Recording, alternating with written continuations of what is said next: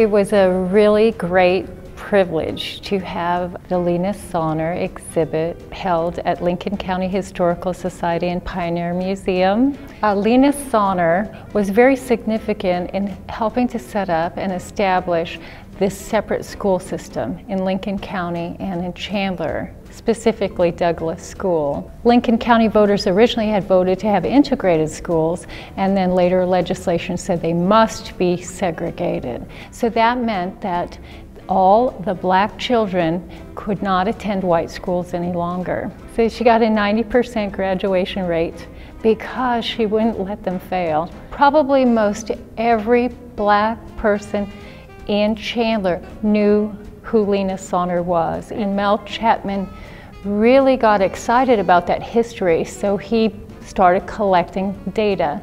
And I think it, it, was, it went far beyond genealogy.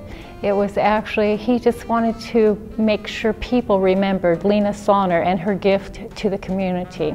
Well, Lena Sawner was the teacher, was the head, the principal of a separate school in Chandler, Oklahoma from 1902 until 1934.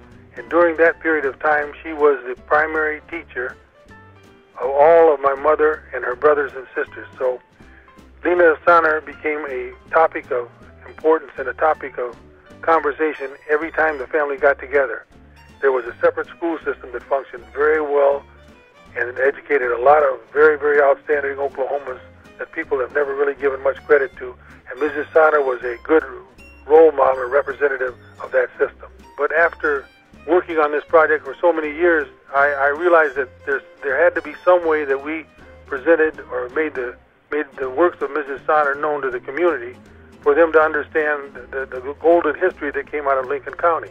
I'm a genealogist. I spent a lot of time in libraries and studying people's families and how to glean out the important information and where to go when, when you're stuck.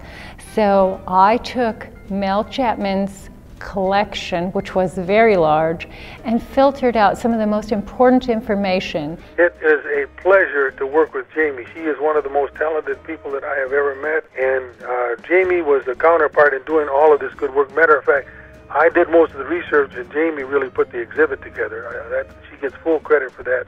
And the very idea that Mel Chatman had worked and researched for 20 years, and then Jamie got to use her terrific organizational skills to bring this all together into a cohesive unit where everyone could come and visit it was just tremendous. It brought in many, many people who normally would not visit museums and they would bring their children in. I think this award is one of the nicest things that has happened to Chandler in a long time.